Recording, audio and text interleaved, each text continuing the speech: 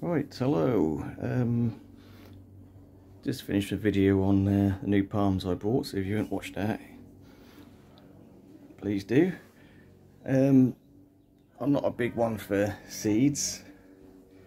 Um, I do do a few each year, but this is the small selection I've chosen this year for bedding. So we've got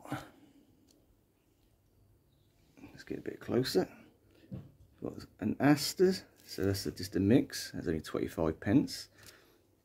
Um, nice bright mix there, so we'll see. quite nice splash colour in the borders.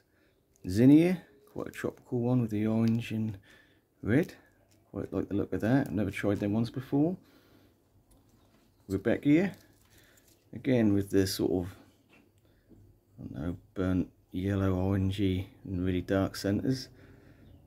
So an another one I've never tried before, so might be interesting. Aquilegia. Just uh, saw the flowers and thought they looked a bit different, so I'll give them a go as well. Sort of quite a unusual flower on them. And then of course the standard coleus, uh, it's a rainbow mix. Um,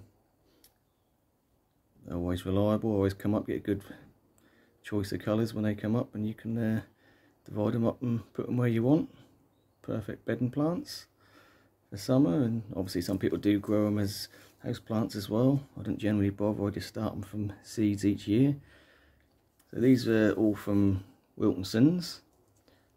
Um, at the time I bought these, which is last week I believe, um, they were doing three for two so I bought the expensive ones, the pound ones altogether, so I got one free.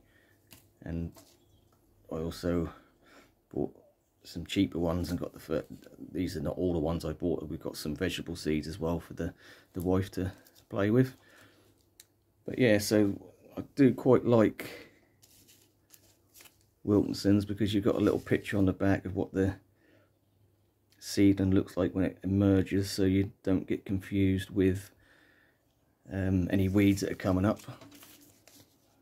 So you, you, it's a good little um, indicator there. Oh, that one ain't got one on. Yeah, most of them do though, so you've got the little picture of what to look out for as they come up.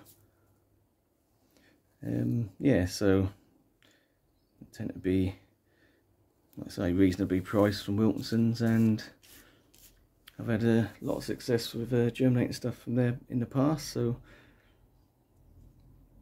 that is what I'm going to grow from seed. I, I, don't need to do a video on actually doing that. I'll be doing some seed trays this afternoon and just uh, doing it like that and I'll prick them out as they get bigger and pot them up individually before they go into the ground.